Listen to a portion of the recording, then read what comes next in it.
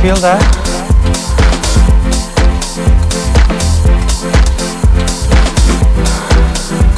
The energy coming up from the earth.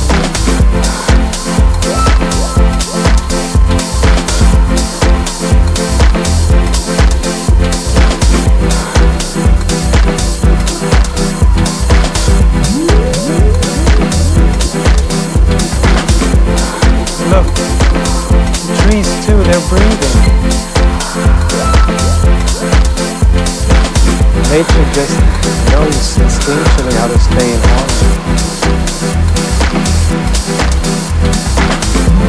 Everything is mechanically doing its part.